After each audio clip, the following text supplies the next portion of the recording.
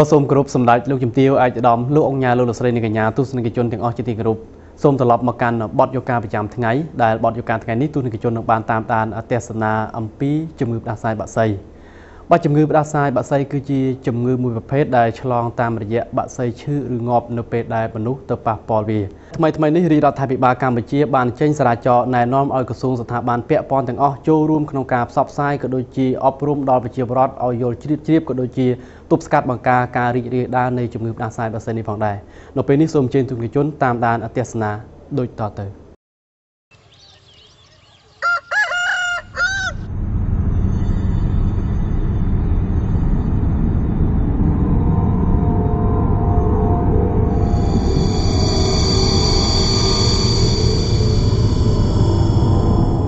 បើនិយាយពីជំងឺផ្ដាសាយបាក់សីប្រជាប្រដ្ឋខ្មែរពិតជាមិនទាន់ភ្លេចនៅឡើយនោះទេចំពោះការខាត់បងយ៉ាងច្រើននិងសម្លាប់មនុស្សរាប់រយនាក់នៅលើពិភពលោកគិតចាប់តាំងពីឆ្នាំ2003មក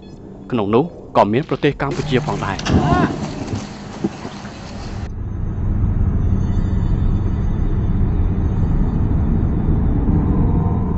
ជំងឺផ្ដាសាយបាក់សី H5N1 គឺជាជំងឺផ្ដាសាយមួយដែលជាធម្មតាចម្លងរវាងសត្វបាក់សីឈឺទៅបាក់សីផ្សេងផ្សេងទៀត ប៉ុន្តែជួនកាលអាចឆ្លងទៅមនុស្ស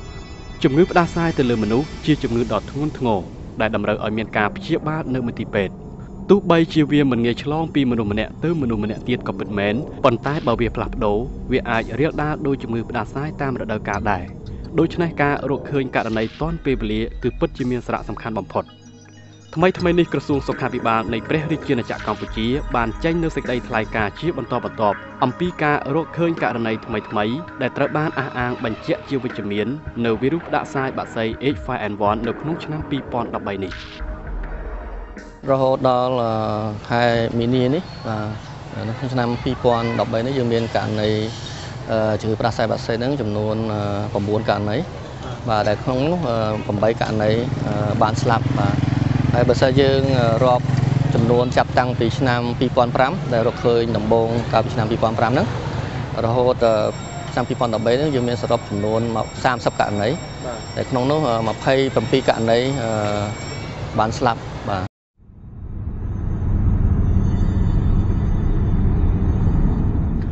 គួររំលឹកថាកន្លងមកក្រសួងសុខាភិបាលនៃព្រះរាជាណាចក្រកម្ពុជាធ្លាប់បានបញ្ជាក់ផងដែរថាជំងឺផ្ដាសាយ H5N1 នៅតែគំរាមកំហែងដល់សុខភាពប្រជាពលរដ្ឋកម្ពុជាហើយកុមារនៅតែមានភាពងាយរងគ្រោះនឹងជំងឺនេះ ដូច្នេះក្រសួងសុខាភិបាលសូមអំពាវនាវជាបន្តទៀតឲ្យឪពុកម្ដាយនិងអាណាព្យាបាលកុមារទាំងអស់ត្រូវដាក់កុមារឲ្យនៅឆ្ងាយពីសត្វបក្សីឈឺឬងាប់និងព្យាយាមកុំឲ្យកុមារលេងនៅជិតបក្សីឈឺនិងត្រូវលាងដៃជាញឹកញាប់ហើយក្នុងនោះប្រសិនបើពួកគេមានជំងឺដូចជាការដកដង្ហើមញាប់ឬពិបាកដកដង្ហើមនោះត្រូវនាំកុមារទៅព្យាបាលជាបន្ទាន់នៅគ្រឹះស្ថានសុខាភិបាលដែលនៅជិតផ្ទះរបស់លោកអ្នកបំផុតហើយត្រូវប្រាប់មន្ត្រីសុខាភិបាលអំពីប្រវត្តិប៉ះពាល់ជាមួយនឹងបក្សីឈឺឬងាប់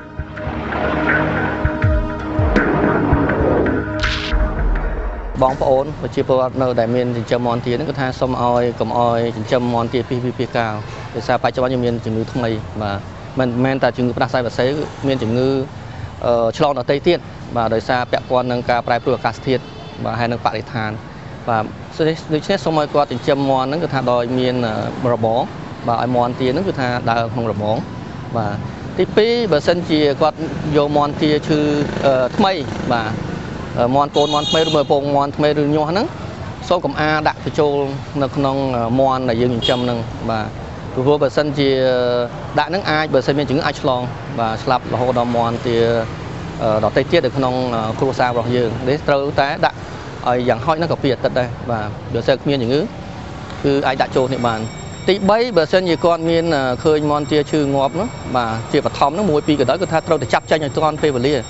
ដើម្បីយុទ្ធកប់បាទហើយបង្ការការចម្លងទៅសត្វមន់ទាដតីទៀតនៅក្នុងគ្រួសាររបស់យើងក៏ជាឱកាសមួយអាចការពារកុំឲ្យឆ្លងទៅគ្រួសារដតីឬភូមិដតីបាទដតីទៀត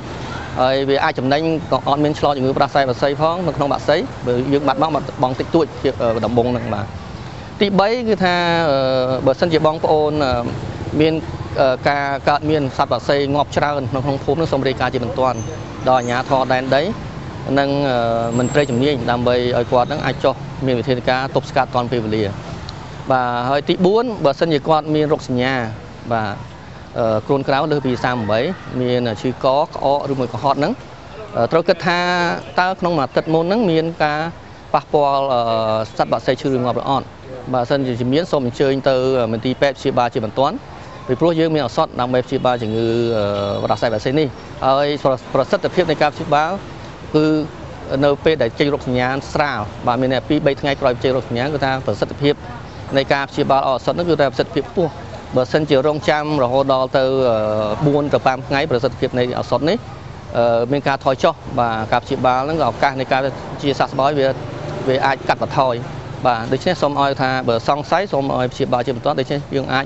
ព្យាបាលតាន់ពេលវេលាហើយនឹងអាចមិនវិវត្តទៅជំងឺធ្ងន់ធ្ងរហើយអាចបាត់បង់ជីវិតបានបាទ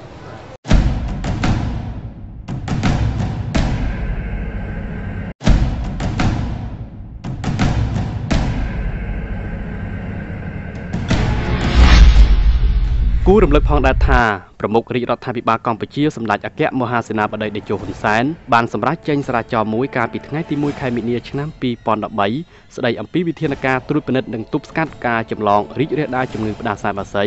នៅគ្រាដែលជំងឺនេះបានផ្ទុះឡើងនៅឆ្នាំ2013នេះគួរឲ្យកត់សម្គាល់តាមសារចរនេះក្នុងគោលបំណងដើម្បីឲ្យក្រសួងពាក់ព័ន្ធនិងអាជ្ញាធរគ្រប់លំដាប់ថ្នាក់ចាត់វិធានការទប់ស្កាត់ជំងឺនេះជៀសវាងការសម្លាប់ដល់ប្រជាពលរដ្ឋកម្ពុជា។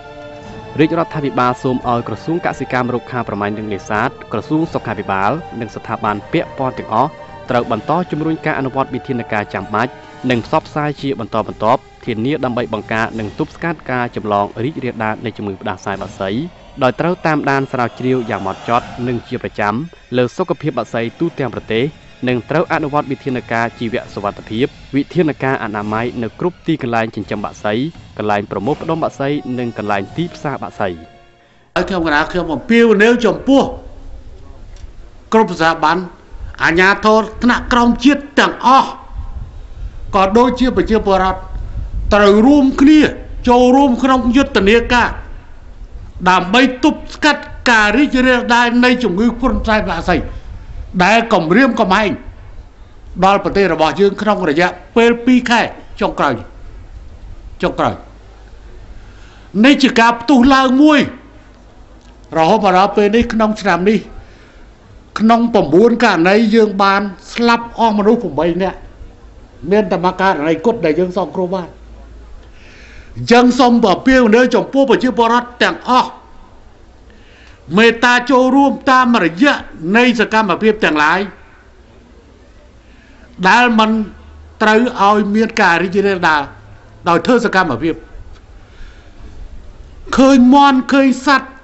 មន់សัตว์ទាឬក៏ស្អីដែលវាមិនប្រកក្តីសូមមេត្តារាយការភ្លាមទៅអ្នកដែលមានការពាក់ព័ន្ធភ្នាក់ងារសុខភាពដើម្បីចាត់វិធានការ ពិនិត្យមើលតើវាមានជាតិគ្រុនបាក់សាយបាក់សៃឬទេហើយបើសិនជាមន់នោះវាឈឺហើយវាងាប់ឬមន់វាឈឺហើយបែរជាយើងយកទៅធ្វើវាដើម្បីធ្វើជាចំណីអាហារធ្វើជាម្ហូបมันគត់มันត្រូវធ្វើទេទទួលទានមកពេលប៉ុន្តែស្លាប់មនុស្សម្នាក់ពីរនាក់គឺជាគ្រោះថ្នាក់ខ្លាំងណាស់ កន្លែងមួយចំនួនយើងត្រូវឈានទៅសម្រាប់សัตว์នោះចោលតែម្ដងទាំងមន់ក្រៃទាំងទាក្រៃហើយយើងដាក់ការហុំព័ទ្ធដើម្បីកុំឲ្យមានចរាចរណ៍សัตว์ចេញពីតំបន់នេះរហូតទៅដល់ការព្យាបាលរួចរាល់ទើបអនុញ្ញាតឲ្យមានការធ្វើចរាចរណ៍សัตว์ចេញពីតំបន់នេះចឹងត្រូវធ្វើរួមគ្នាធ្វើយុទ្ធនាការ ដើម្បីទប់ស្កាត់នៅជំងឺឆ្លងដល់កាយចៅនេះតាមរយៈនៃការណែនាំហើយវត្ថុទូរទស្សន៍ទៅបានផ្សព្វផ្សាយយ៉ាងទូលំទូលាយហើយកន្លែងដែលមានមន់ដែលវាមិនប្រកអីនោះត្រូវបានឃុំក្រងភ្លាមកុំឲ្យចេញទៅតំបន់ភ្លេងដែលនាំទៅដល់ឆ្លងនៅកន្លែងផ្សេងសូមមេត្តាយោគយល់ដល់កន្លែងហ្នឹងប៉ុន្តែក៏សូមប្រជាពលរដ្ឋ ដែលទទួលទានសាច់មន់សាច់ទាសូមមេត្តាបន្តទិញមន់ទិញទាទៅពោះចូលកាលពីជំនាន់មុននឹងអ្នកលក់មន់គេធ្លាប់ទៅលក់មួយថ្ងៃបាន20មាន់ថ្ងៃកាលលោកមាន់បានតែមួយ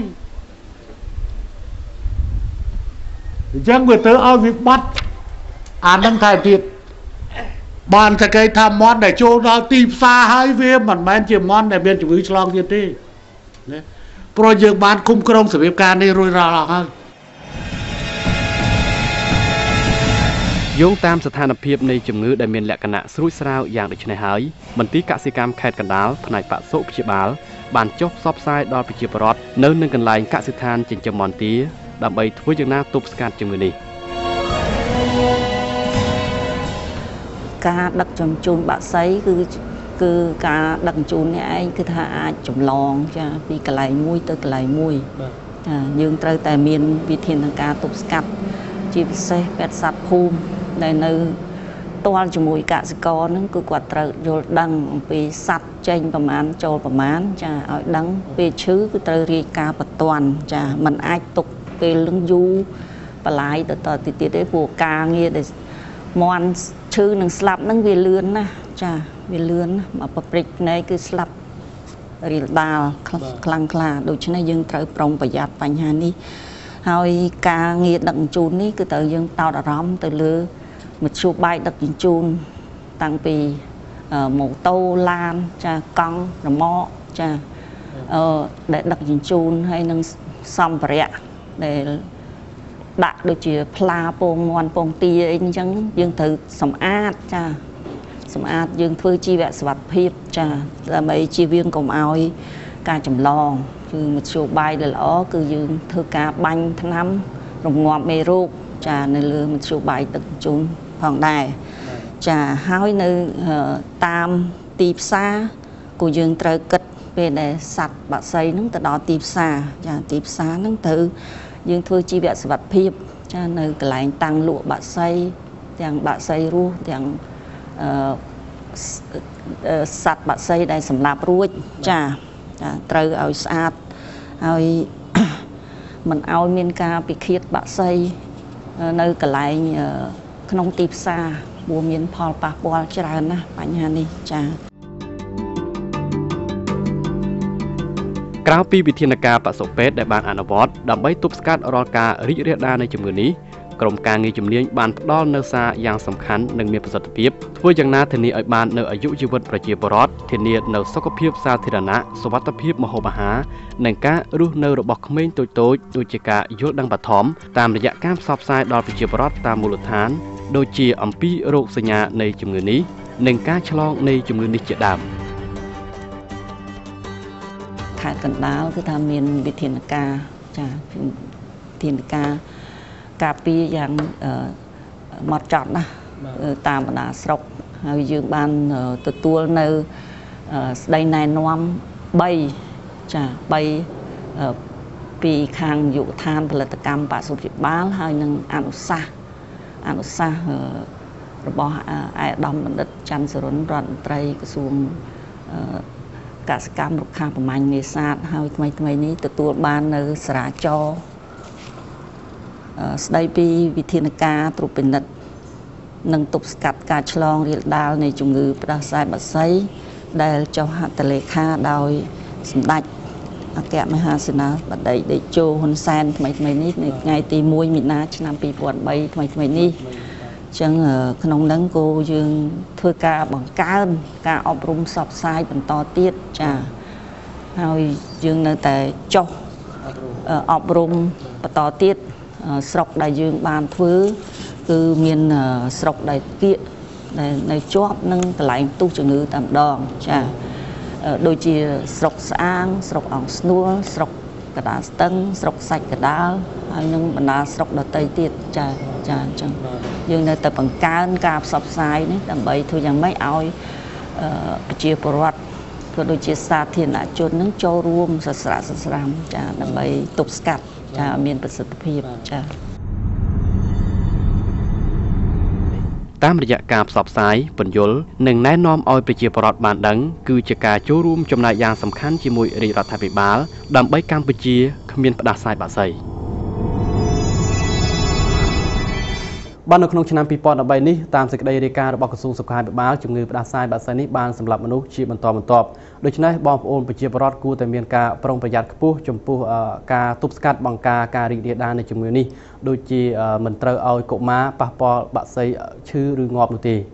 អរគុណទូនិកជនដែលបានតាមដានទស្សនានៅបទយកានេះហើយឱកាសក្រោយយើងខ្ញុំនឹងមានបទយកាថ្មីថ្មីមកជម្រាបជូនជាបន្តទៅទៀតសម្រាប់ពេលនេះខ្ញុំបាទរួមទាំងក្រុមការងារសូមអរគុណសូមគោរពលា